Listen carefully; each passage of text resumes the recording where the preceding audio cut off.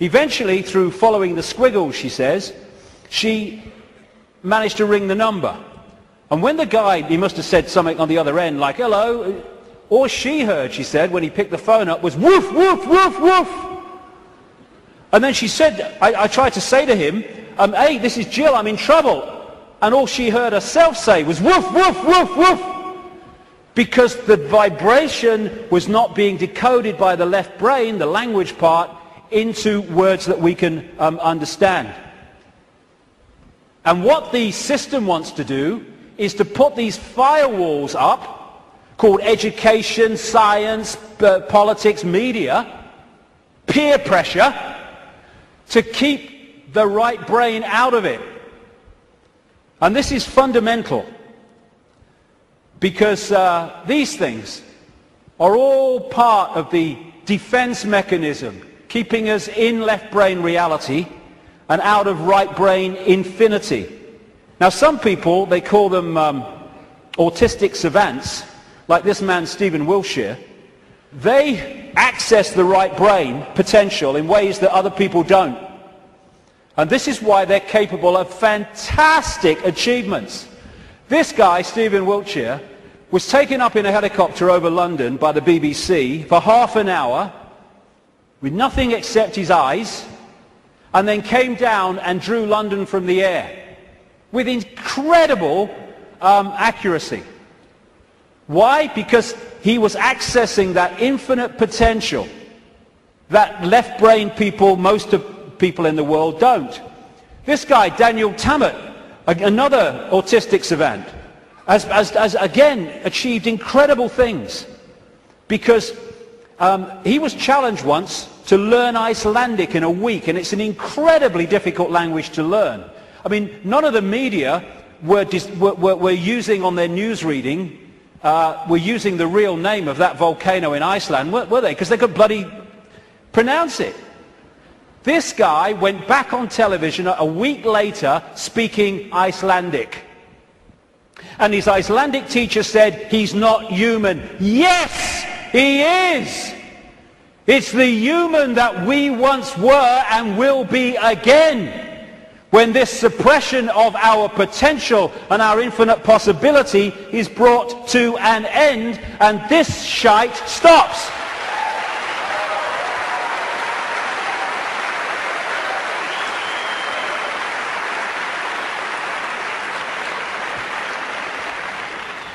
We worship the intellect. Oh, he's got a great mind. Oh, he did this at Oxford. Oh, he's gone to Harvard. Mind is such a low level of awareness. It's supposed to be a vehicle for experiencing this reality, a servant of consciousness. It's become our master. It's become something to worship. And that's the isolated intellect. That's the isolated intellect. And so we reach a point this fork in the road is are we going to be consciousness or mind? Are we going to be all that is or little me? It's not really free your mind. It's free yourself from mind. That's why society is structured to completely engross us and swamp us in things to occupy our mind. Open your mind. Become all that is. Infinite love is the only truth. Everything else is illusion. What is infinite love? All possibility. Infinite possibility. Choice between the head, thinking, intellect, and the heart, knowing, wider consciousness. Then we start to access this wider information and see the world from a completely different level. We then start to access, once we get out of mind, all these other realities that are there to be accessed and perceived and to glean insight and information from that have been denied by being encloseted and enclosed in mind.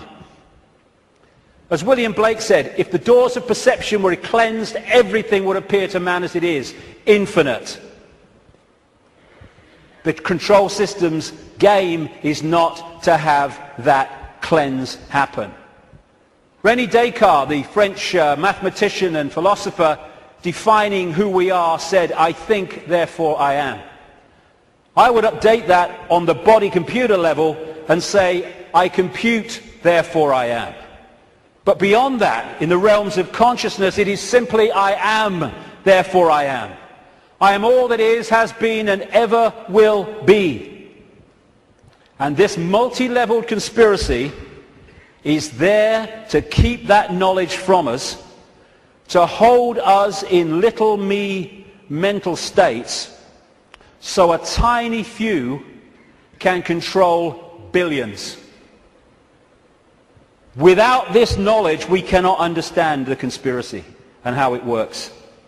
And the question is, who's behind it? See, they're hiding already. Who's behind it?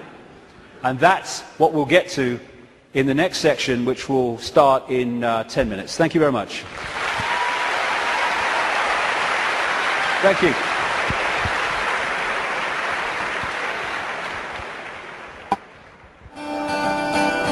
Love will set you free. Love will set us free. Love will set you free.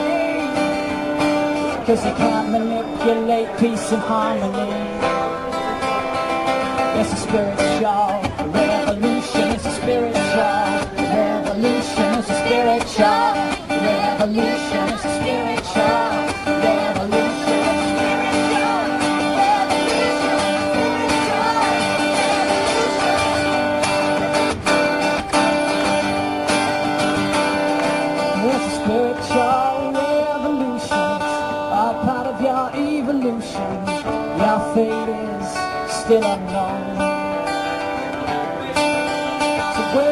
my friends The future now depends on you So please lead us home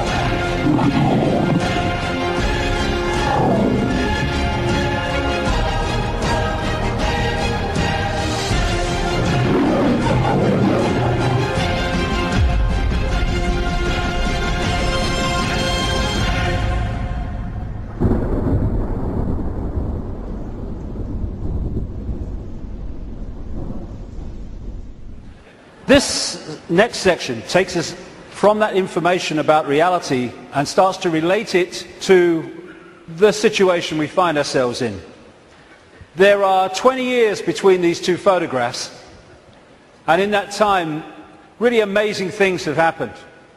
So many people have gone from that to that and it's an exponential curve that's gathering pace all the time.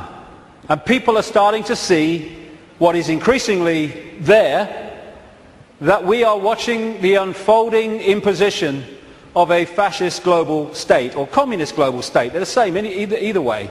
I'm sure people in fascist Germany and people in Stalinist uh, Russia thought there was a big difference between the worlds that they lived in.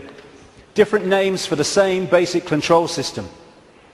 But I would suggest that if we stay only at the level of the five senses, only at the level of the world we see banking scams, manipulated wars, Orwellian imposition, then we're not going to get truly what is going on.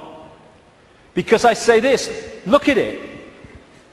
This world has been changing and is changing so rapidly in terms of all different aspects of this control system, the way they manipulate education, manipulate wars, put in the people they want as presidents, give us all this shite through food and drink, control the media, manufacture the global warming scam, big pharma, and 9-11 and all that stuff. And it's coming in in a, such a coordinated way.